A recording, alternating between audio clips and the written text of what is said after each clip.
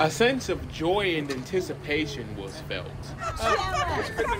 When Texas Southern University and North Carolina Central joined forces with the Monterey Jazz Festival. It is an absolutely amazing experience, and it's wonderful for Texas Southern University students to be included in this historic event.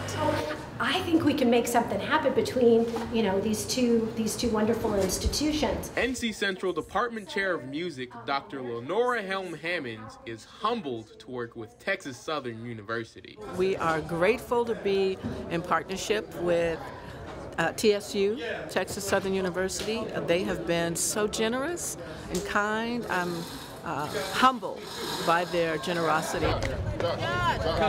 NC Central sophomore Amani Jones is happy to see her school work with TSU and embrace jazz. To have uh, Texas Southern and North Carolina Central come together and just like show what we can do as a jazz combo and just jazz in the genre, like it's it's really cool.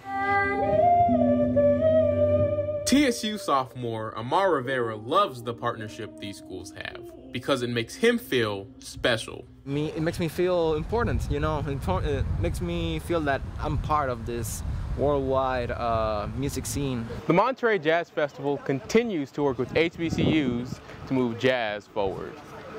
Reporting from the Monterey Jazz Festival here in Monterey, California, Bradley Clark, KTSU 2 News.